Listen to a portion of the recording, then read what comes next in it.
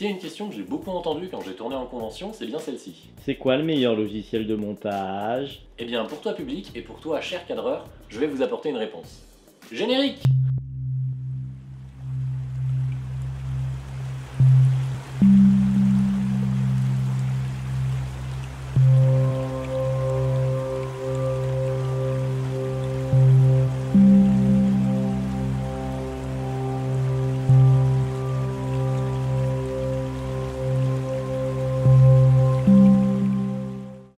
savoir que dans le milieu de la vidéo, il y a plein de logiciels de montage qui existent. Il n'y en a pas qu'un seul et c'est tout à fait normal.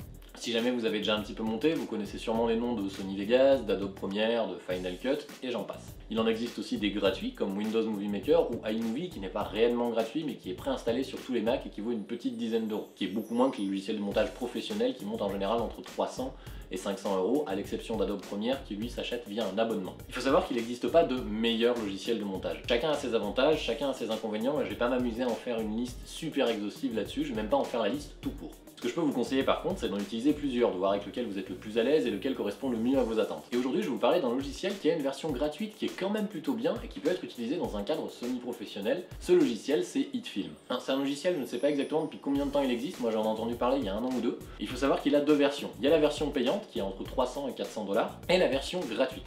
Vous allez me dire pourquoi est-ce qu'il est bien? Déjà parce qu'il est gratuit. Alors même si à l'heure d'aujourd'hui on est tous capables de craquer les licences de n'importe quel logiciel, c'est bien aussi de pouvoir travailler avec des outils complètement légaux. HitFilm, il a l'avantage de permettre à la fois de monter des vidéos et de faire des effets spéciaux dans le même logiciel. Ça c'est quelque chose qui est assez important à souligner puisque les autres logiciels de montage ne le font pas. On a bien la suite de Premiere avec tous ces logiciels interconnectés qui permettent d'exporter des vidéos par exemple de Premiere à After Effects puis de les ramener dans Premiere, mais c'est assez compliqué et si on s'aperçoit qu'on a raté son effet, il faut retourner dans un autre logiciel. C'est des opérations assez lourdes et qui peuvent prendre pas mal de temps. Sur HitFilm, vous avez deux timelines. La timeline standard qui permet de monter vos clips, donc de mettre vos vidéos, de les couper, de les raccourcir, de synchroniser le son, de faire un petit peu ce que vous voulez. Et une autre timeline consacrée uniquement aux effets spéciaux. Pour vous donner un exemple, vous allez prendre un clip sur lequel vous devez rajouter un effet quelconque, vous pouvez directement le passer dans la timeline d'à côté, faire votre effet spécial, puis revenir sur votre montage et l'effet sera directement intégré. Ça c'est quand même quelque chose qui est énorme parce qu'en termes de gain de temps, c'est complètement ouf. ouf. Alors bien sûr, dans la version gratuite, faut pas s'attendre à des miracles. Par exemple, il y a beaucoup de plugins préintégrés pour faire du feu, des flammes, des explosions qui ont un rendu assez dégueulasse. Il faut quand même pas mal les travailler pour que ça devienne à peu près potable, mais ça reste très bien si vous voulez faire des petits effets spéciaux ou de la fumée dans la distance par exemple. Et ce qui est encore plus ouf, c'est que contrairement à la plupart des logiciels, ces effets préintégrés fonctionnent en 3D. Vous avez accès à un environnement 3D assez basique qui vous permet d'intégrer vos effets spéciaux beaucoup plus facilement dans une scène qui a du mouvement. Les effets sont assez moches, donc faut pas non plus compter dessus et les filmer en gros plan.